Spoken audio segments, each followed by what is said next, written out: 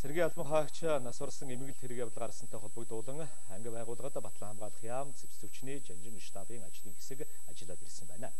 Батлан хамгаалахын сайд Нямагийн инх бол энэ талаарх мэдээллийг өглөө. Сэргийн дангараа өргөд их орнохоо төлөө зүтгэж явсан 19 настай хүү ийм золгүй байдлаар амнасаа алдсан да. Түүний ээж төрөл төрөсөд ах トゥ найз нөхдөд нь гүн эмгэл илэрхийлж байна сайдын зүгээс сайдын зөвлөлийн гишүүдийнхээ нэрийг бас ажлын хэсгийн дүгнэлтэн дотор бол анхаарахмаар зүйлүүд их байна. Тэгэхээр бид нэр өөрийнхөө зүгээс дүгнэлт хийгээд байж гэн. Цэргийн дүрм журм ном ном журмынхаа дагуу өрдөгдөөгүй байна. Хэд хэдэн зүйлээр алдаа гарсан байгаа. Энэ талаар манай жанчтабынхаа албасаар бас мэдээлэл хийж танилцуулах хэрэгтэй.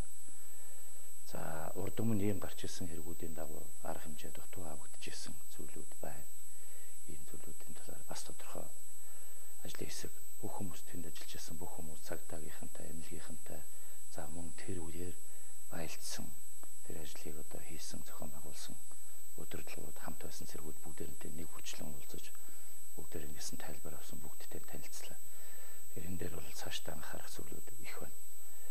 Олон зүйл дээр бол алдаа гаргасан гэдэг нь бол харагдаж байна. За чухам энэ цэргийн байгууллагын тухайлбал одоо яг цэргийн өдөртний ажлыг зохион байгуулах, шат дараалсан арга хэмжээ авах зарчмууд зөрчигдсөн байна. Сахилгын буруу шийтгэл ногдуулсан байна. Албаны бус харьцаа энд гаргасан байна. Өдөртөх бүрэлдэхүүний зүгээс нь. Тэгээ ер нь батлан болох юм бол энэ цэргийн салбарыг бодлогын хувьд өдөртөх хэвээр хяналт иргэний хяналт шалгалтын зүгээс нь өдөртөх хэвээр ийм үүрэгтэй байгууллага.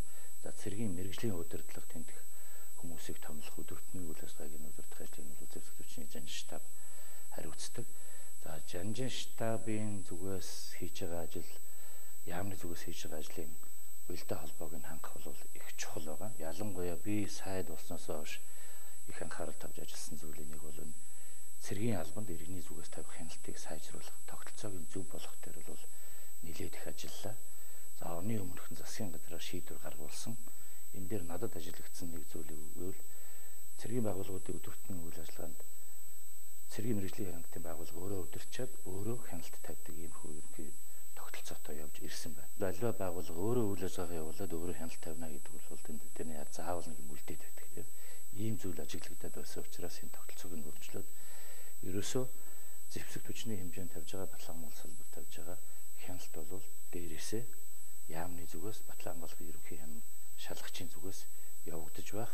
Тэгээ дахиад хэлсэн энэ бол бас нэг талаасаа хөндлөнгийн маягийн хяналт болж байгаа. Яагаад гэвэл нэг нь бодлогын нөгөөх нь мэрэгжлийн байгууллага шүү дээ тийм ээ.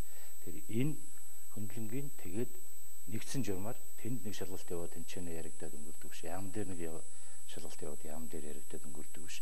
Ерөөсөө бүх энэ салбарт явж байгаа бүхэл хяналт шалгалтын ажил нэг бодлогын удирдлагатай тэр бодлогынхаа хүрээнд үйл ажиллагааны явагддаг ийм тогтолцоог бүрдүүлэхийн төлөө ажил